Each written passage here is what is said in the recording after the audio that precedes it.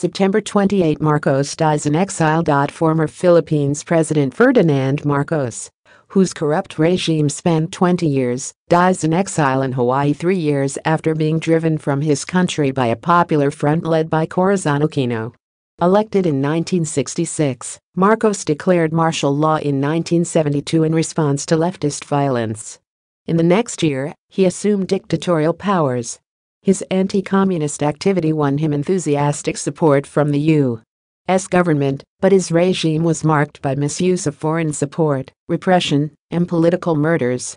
In 1986, Marcos defrauded the electorate in a presidential election, declaring himself the victor over Corazon Aquino, the wife of an assassinated rival.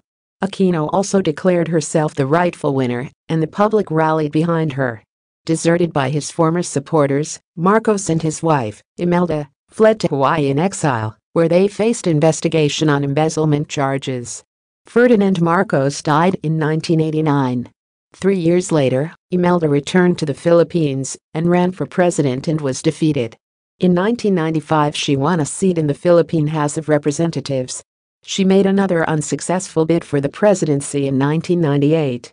In 2001, Imelda was arrested on charges of corruption and extortion committed during her husband's presidency, but was acquitted.